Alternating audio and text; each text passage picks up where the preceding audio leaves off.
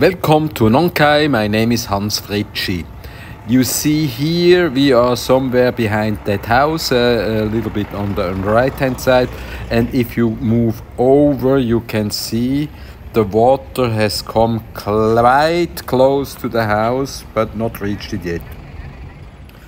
Slightly up the river in direction towards uh, city, you see the water has taken over of the walkway that uh, goes along the shore. Here's a, a fisherman. The Thais are always very ingenious. They take opportunity of uh, even uh, such a bad situation. So this guy is trying to make a catch, and I'm quite sure he will succeed. But look how the Mekong has expanded, and this walkway is completely underwater. Compare again with the relative harmless situation near our house. Here on the other side of the road, which acts as a dam, the water has arrived but not yet to our house. Here you see the situation last night, a bit uh, up the river from our house in direction of Nong Khai city. Looks actually quite romantic but it is not at all you know. I mean here are not so many people living uh, that were inundated but uh, on the other places yes. All the lower laying areas of Nong Khai near near the river uh, have been submerged and uh, you can see the water is uh, standing there. That is last night as well.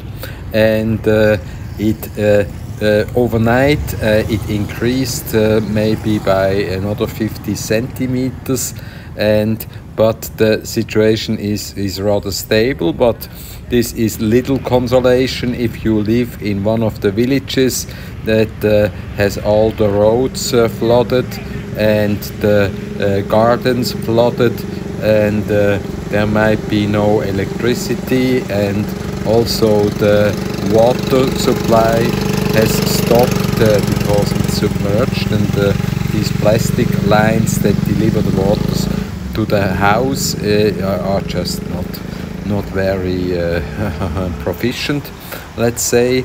And you see people drive away during the last few years, a lot of restaurants and entertainment places have opened at the river, the mighty Mekong River in Nong Khai, but they are now all submerged uh, underwater.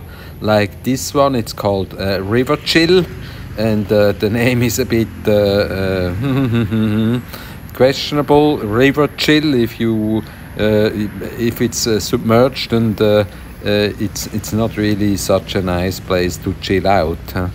Uh, this road now leads to the uh, river resort uh,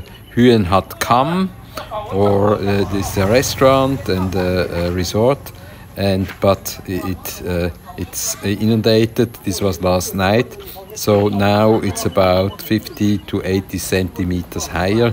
You cannot go there anymore uh, it's it's very dangerous and you get wet feet.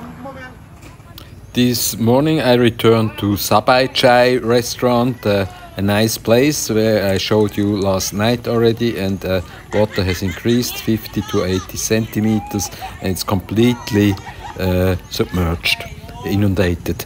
Uh, so if you liked or disliked what you saw today, so I'm sorry if you disliked it, I dislike it too. So please join the Hans Fritschi channel on YouTube or Hans Fritschi Friends on Facebook and see you again very, very soon.